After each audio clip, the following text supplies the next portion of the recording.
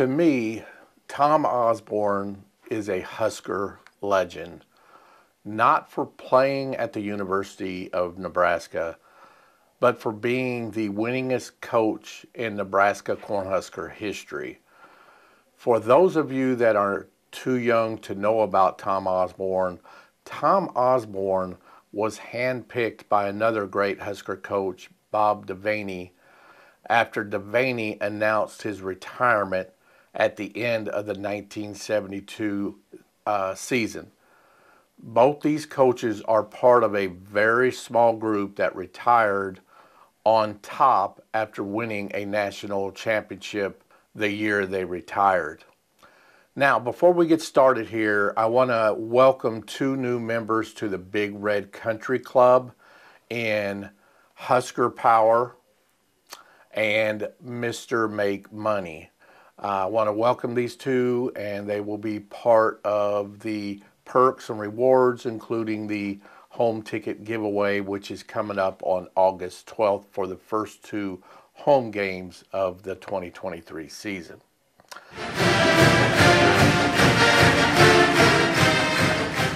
Now, Tom Osborne coached the Huskers for 25 years from 1973 to 1997.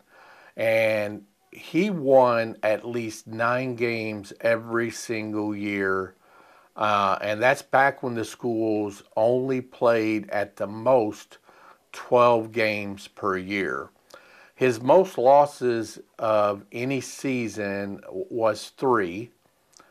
And in his last five seasons as a coach of the Nebraska Cornhuskers, Tom Osborne accomplished a 60 and 3 record, winning the national championship three of those last five years, and missing a fourth by only two points on a missed 45 yard field goal against Florida State. So the remarks I always hear is Coach Tom Osborne wasn't that good. Nebraska's never been that good.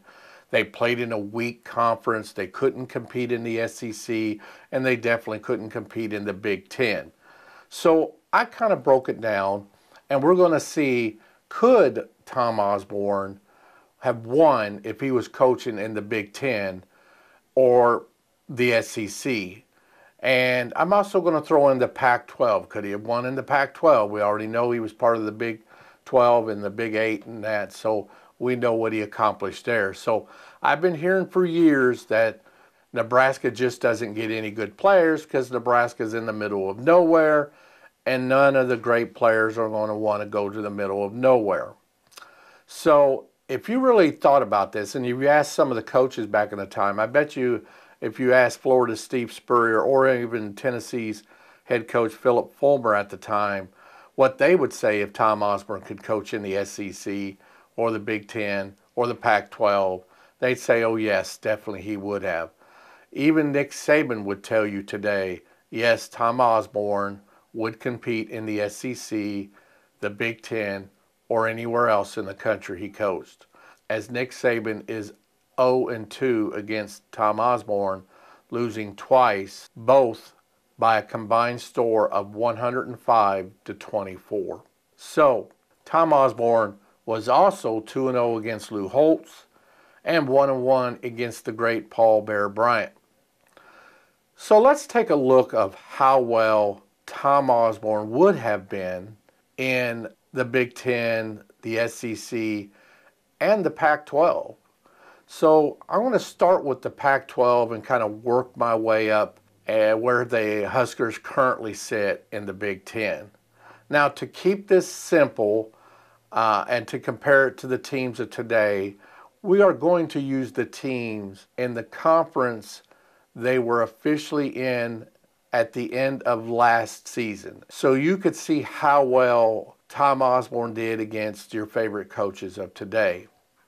So, what kind of record do you feel Tom Osborne would have had against the Pac 12? Would he have won? And how well would he do today? Well, his record against the Pac 12, going through game by game through his coaching career, was 37 wins and three losses for a winning percentage of 92.5%. That's right, 37 wins and three losses. With the three losses coming against only two teams, the UCLA Bruins and the Washington Huskies. He lost to UCLA once and Washington twice. Other than that, Tom Osborne won and won decisively as most games were not even close. Not bad for a man coaching in the middle of nowhere, wouldn't you say? So, what about the SEC? How well would he did to the SEC? How well did he do against the SEC? I'm sure he didn't do as well against the almighty SEC, did he? Well, going back through, Coach Osborne racked up a record of 36 wins, five losses, and one tie for a winning percentage of 86.9%. And again, most games he won were not even close. Now, to put this in perspective, as I said, I'm using the conferences these teams sit at during the end of the 2022 season. Because of this, out of Tom's five losses against the SEC, one loss was from Alabama. The other four were from Missouri, while Missouri was playing in the same conference as Nebraska. So if you take Missouri away, Tom Osborne had only one loss against the SEC, and that was against Paul Bear Bryant's Alabama team, where both Tom Osborne and Bear Bryant won their home game against each other in a home and home game uh, within a two year span.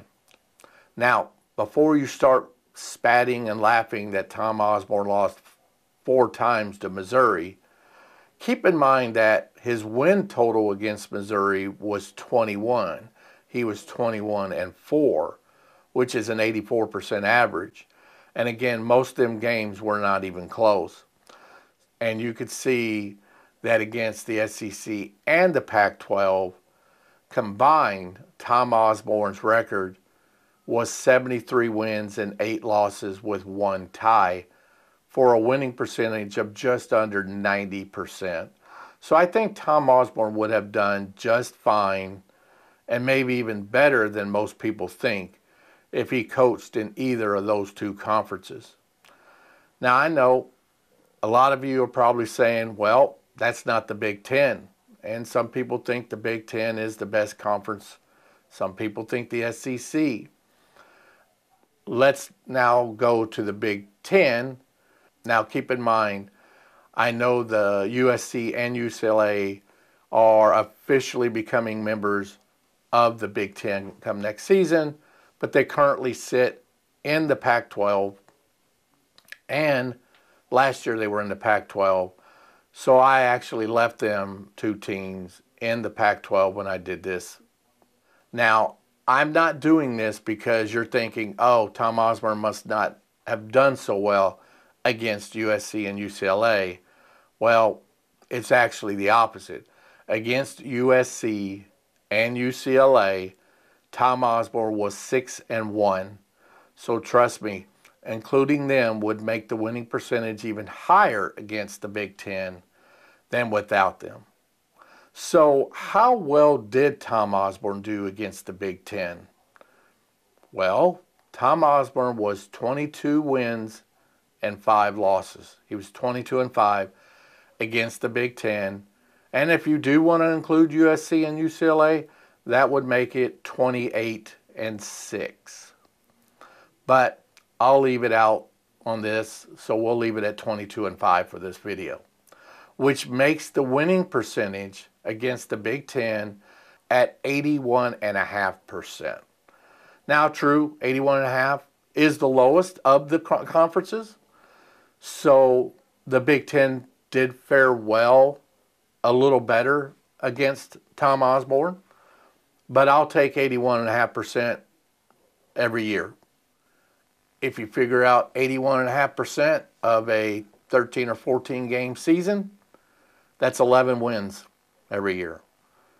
So I think Tom Osborne would have done just fine in the Big Ten and in any conference he coached in. So with the Big Ten added in there, this gives Tom Osborne a winning percentage of 87.6% against the top conferences in the country with a record of 95 wins, 13 losses, and one tie. So again, I think we all can be sure that Tom Osborne and the Nebraska Cornhuskers would have done much better than okay if he coached in these conferences. Not too bad for a school I keep hearing is out in the middle of nowhere and no one wants to go to. So if no one really wanted to go there, then how well and how good could Tom Osborne be? Then that means he's taking not so good of players and winning at almost an 87, 88% with not very good players. So what would he have done if he did get good players? Now, does this show you how great Tom Osborne was? Does this change anybody's mind? Do you now feel Tom Osborne could coach in the Big Ten or any of these conferences and win? Let me know down in the comments below. And I think if you're telling me he wouldn't do well, then you're kind of lying to yourself and the rest of us. Also, tickets to the September 16th game against Northern Illinois and the September 23rd game against Louisiana Tech will be given away on Saturday, August 12th to one of the Big Red Country Club members. And if you'd like to become a member and be part of this drawing, just click on the join button right next to the channel name below this video to become a member. And if you haven't already, please subscribe to the channel and give a thumbs up as this will help get this video out to other college football fans. And if you'd like to support the channel uh, by leaving a small tip, please click on the thanks button you see right here. And I want to thank everyone for all their support and all their kind words as I do receive a lot more nicer and respectful comments and messages than I do not. So I want to thank all of you for all your support. Go Big Red.